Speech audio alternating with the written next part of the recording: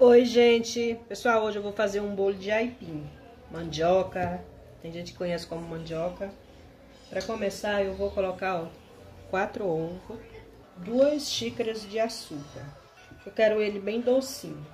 Três colheres de margarina ou manteiga. O bolo é bem facinho de fazer. Agora eu vou bater ele aqui até formar um creme. É prontinho, pessoal, ó. Bati até fazer aquele creme. Colocar 800 gramas de aipim raladinho. Aqui eu vou colocar 100 gramas de coco ralado. Eu vou colocar uma caixinha de creme de leite no lugar do leite de coco. Pronto, olha pessoal. Vou colocar uma colherzinha de fermento. Eu vou colocar na forma. Já eu trago o bolo.